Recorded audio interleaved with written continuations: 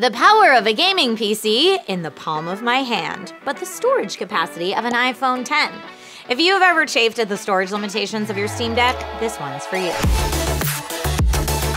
Hey everyone, I'm Trisha Hershberger, and today we're looking at the process of installing a replacement SSD in a Steam Deck. The basic Steam Deck has a capacity of 256 gigabytes, but contemporary games like Kingdom Come Deliverance 2 require 100 gigabytes of storage. That's almost 40% of a basic Steam Deck's capacity. Luckily, Valve's handheld gaming platform is more customizable than the average handheld gaming device, but you still need to know what you're doing. That's where we come in. It is worth pointing out before we start, the standard issue SSD for the Steam Deck is an NVMe PCIe 3x4. Newer generation drives will work, but only run at the Steam Deck's supported 3x4 speeds. Before opening your Steam Deck for upgrades or repairs, it's recommended to back up your data to avoid losing games, saves, or settings. Steam may not back up non-Steam games, emulators, or custom files. Manually copy important data to a micro SD card, external drive, cloud storage, or use cloning software for a full backup. Make sure your backup is complete and accessible before making any hardware changes. Also, follow standard safety procedures for electrostatic discharge. Before starting, consider not only discharging the battery down to under 25% capacity, but going into the Steam Deck's BIOS to put it in battery storage mode. Power down the Steam Deck, unplug all the cables, and remove any micro SD cards currently inserted. Make sure the drive you're installing is a single-sided M.2 2230. It is? Great, let's get started. You'll be using a Phillips head screwdriver to remove the back cover screws. Keep them separate. The central screws have shorter threads than the outside screws. Once they're removed, you can unclip the back cover. You may need an opening pick. Start at the top or bottom edges and it should lift away easily. Depending on the model of Steam Deck you own, the next part may vary.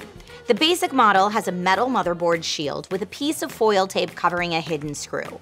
Try not to rip the tape, use tweezers if you can so you can reuse them later. OLED Steam Decks don't have this third screw and have a black plastic cover instead. Unscrew the motherboard shield screws, keeping the screws of different thread lengths separate again, and carefully remove the motherboard shield. With the motherboard exposed, disconnect the battery by sliding its cord by the pull tab and pulling directly away from the motherboard. Now you can remove the SSD screws securing the SSD. The SSD will pop up a little, grip it by its end, and pull it out from its M.2 board connector to remove it.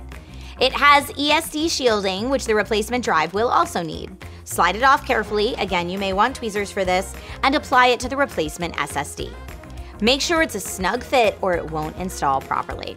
Fully insert the new drive into the SSD slot, gently press it down into place, and screw in the correct screw. Putting the Steam Deck back together is what we just did in reverse. Gently insert the battery cord tab to reattach the battery, put the motherboard shield back with the tabs in place, screw it back in using the correct screws, and if it's there, flatten out the foil tape over the third screw. Reattach the Steam Deck's back plate, which should snap into place ready for screws. Remember, short ones on the inside, longer ones around the perimeter. The difficult part is done, and now you just need to install SteamOS on your replacement drive. You'll need another computer besides your Steam Deck, a flash drive with at least 8 gigabytes capacity, and a USB-A to USB-C converter. On your computer, download the Steam Deck OS from Valve's official website.